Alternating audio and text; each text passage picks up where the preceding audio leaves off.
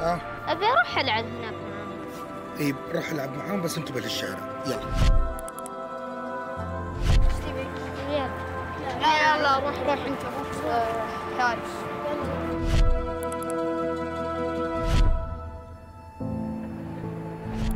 يلا هذا أنا قلت لك. روح. يلا. هو يبغى أروح ألعب معاهم. خلاص روح بس خليك قريب عشان الشارع. روح ألعب معاهم. حد يلعب معكم؟ لا. انت ابو حارس ال- حارس الامن إيه. إحنا ما نتشرف في نلعب مع حارس. طيب إيش فيها إذا أبوي كان حارس أمن؟ زي أي شغلة ترى عادي. إحنا ما نتشرف نلعب مع ناس لا. إيش فيها؟ عند أبوك؟ إلا فيها شيء. ما. روح يلا. اسمع أبوك يلا. يلا روح حر. هو ده الوجع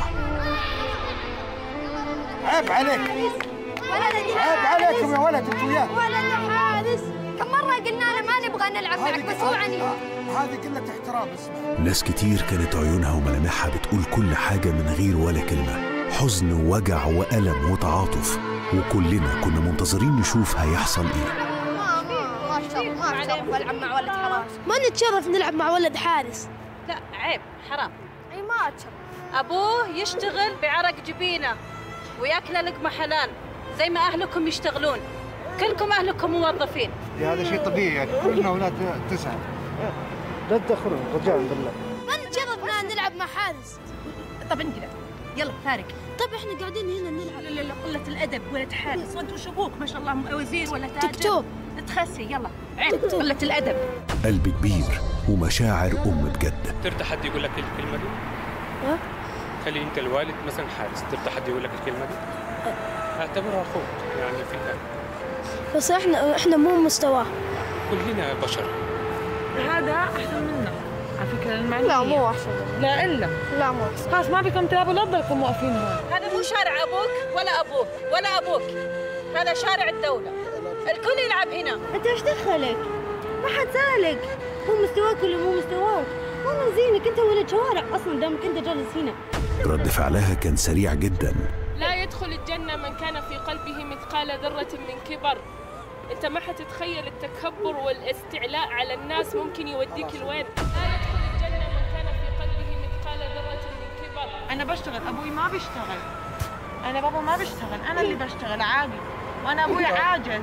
لو اجى أخوي بدك تعامله هيك؟ أنت ترفع راسك عشان أنت أبوك راجل شريف. كلنا أنا عارف وأنا لسه صغيرة أنا دكتورة. لما تتعلم أنت وتصير رجال تبقى أحسن واحد في العالم. مالك شغل فيهم ولا تلعب معاهم. أنت حتكون من أنجح الناس. أنا متأكدة واثقة من هالشيء. فاهم؟ هنا في بقالة صح؟ إيه في؟ إيه في. امشي. ناس كتير في حياتنا تتقل بالذهب. قلوب نظيفة وروح طاهرة وإنسانية ملهاش حدود.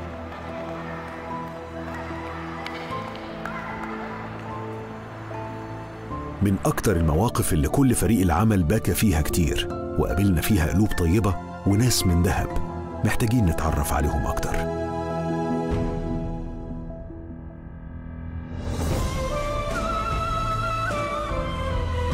السلام عليكم ورحمة الله. مساك الله بالخير. الله يعطيك العافية. يسلمك. هذا برنامج الصدمة على ام بي سي أهلا وسهلا. الله يرضى الله يسلمك. شكرا على تدخلك اول كيف شفت الموضوع من البداية؟ يعني الموضوع صعب. هذا الإشي إحنا بنواجهه في كل بلداننا بصراحة في كل العالم. التنمر إشي كثير محزن. كثير حسسني الموضوع لأنه أنا حطيت حال إخواني قدامهم يعني كأنه أخوي اللي قدامهم. إحنا كنا ترى سواسية وكنا نطلع من بيوتنا عشان نشتغل ونصرف على أنفسنا وعلى عيالنا. لقمة حلال. آه طريقة تنمر.